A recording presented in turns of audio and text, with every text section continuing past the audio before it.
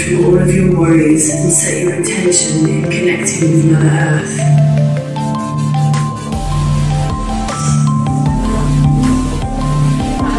Open your eyes and allow the beauty of nature to heal you and set you free. Set you free. Set you free.